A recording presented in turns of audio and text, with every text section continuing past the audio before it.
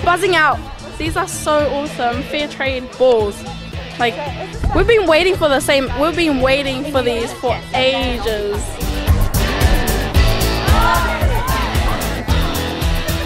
There's more behind it. You know, people, not no little kids are making these balls. Made fair and fair trade.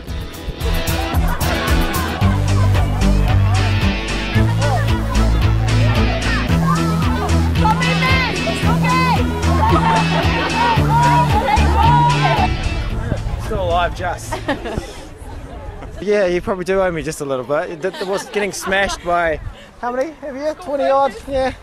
They hit pretty hard. I was trying to wind them up saying they hit like girls, but they hit pretty hard. it's better than going for lunch at the food court, you know? So they come down here and get smashed and, um, and play a bit of rugby. But the balls were good on the upside. The balls were good. Yeah. They worked really well. I managed to touch it a couple times. I think I set up that last try. A long way off though, and uh, it was fun. Uh, my name's Contessa Wright. I'm the captain for the first 15 rugby team for Auckland Girls Grammar. It's pretty awesome. It's really good to see like um, fair trade. We we've never known like any organisation, especially uh, helping organisation, to like evolve around anything to do with sports, especially with school sports. That Do you feel confident playing with those balls? to go for there's a lot of friction, and the design is pretty cool. And I know all the girls want one, so might have to hide these one for the season.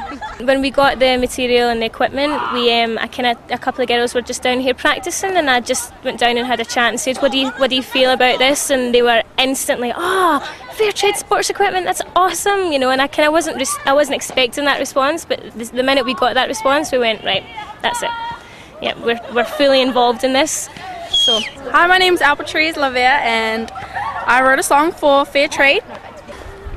Every day, living the same way, and not ever being able to change.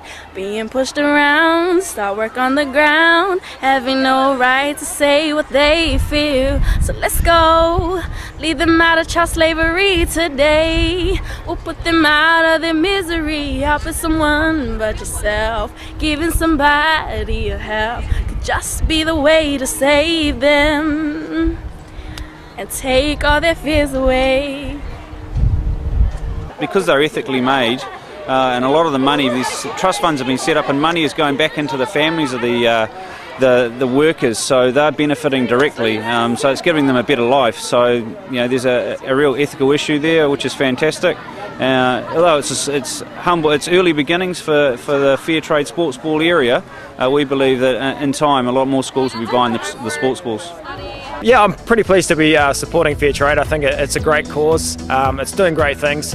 And if you're like me and you're kind of a little bit disappointed that you never got bitten by a spider and became Spider Man and couldn't save the world that way, at least you can kind of feel like you're saving the world by buying stuff that's fair trade products. So go on, do it.